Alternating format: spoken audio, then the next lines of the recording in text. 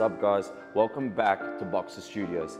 And today we're gonna take last week's workout and put it into today's workout, which is taking it to the heavy bag. Now grab your gloves, let's get to work.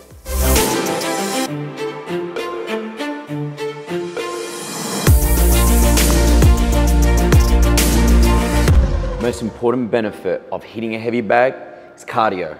And the cardio is gonna help you burn calories, burn fat, and get that muscle turning great look that you've been always wanting to achieve. Hitting the bag also is a great stress reliever as, you know, you just wanna bang the shit out of it to try and just let it all out. But you know what? We're gonna teach you on how to apply that to the bag so you look good, you got technique, and it also feels right, just for not for no reason.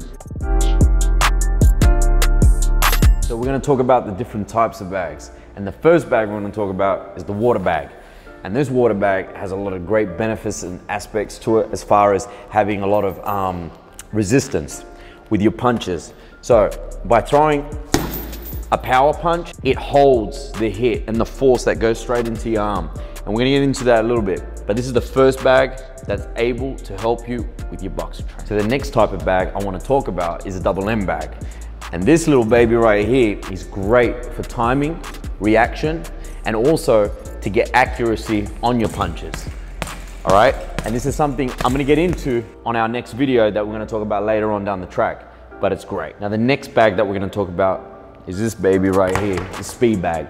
Now the speed bag is great for your eye coordination, your timing, your rhythm, cardio workout, the whole works.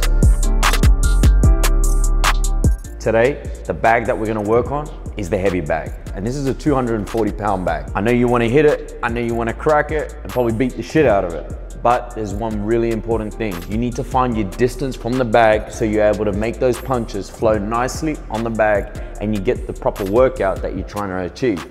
So, the way you measure yourself and the distance from the heavy bag is by getting your jab, which is your ruler in front of your face. Let the jab out, all right? And you should have a straight arm and that will determine the distance from where your stance is, where your shoulder is, and all the way where your fist ends in contact with the start of the heavy bag.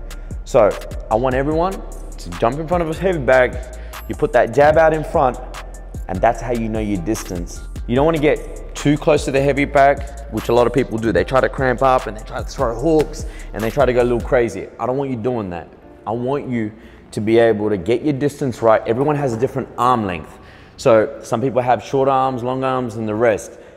Get that distance, keep it right, get that stance right. If you watch my last video, keep that right hand up and keep your body straight. So before you even make contact with that heavy bag, I want you to do something really important. Watch my last video on how to put hand wraps on you need to have your hand wraps on before you put your gloves on. It's essential before any type of boxing workout that we do. So once you got your hand wraps on, we're gonna put those punches into play.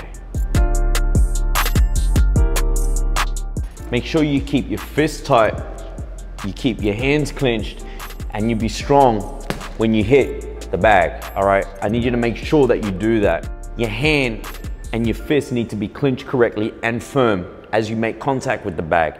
And also make sure that you got your ruler up and your defense. There's no point of throwing punches, but you can't even have defense. When you're on the outside doing defense, you can stay relaxed, but as you come in, I want you to make a nice firm grip and make sure that with that power or how you're hitting the bag is gonna flow through nicely. If you don't know what the ruler is, check out my last video on how to throw a punch and it will show you. Everyone wants to hit a heavy bag and try and get it off the ceiling and knock that shit out of it. But you know what? When it comes down to it, it's not about how hard you hit. It's about how to control the bag. You don't allow the bag to control you and you don't lose your technique of how you're trying to box. So the first thing I want you to do is you get in your boxing stance, all right? And the way you hit the bag is put everything into motion. Jab, it's just gotta be light. You can just do a real light jab, bang, light jab, bring it back, boom, bring it back. Now, you see how hard I hit the bag? Boom, it's really light.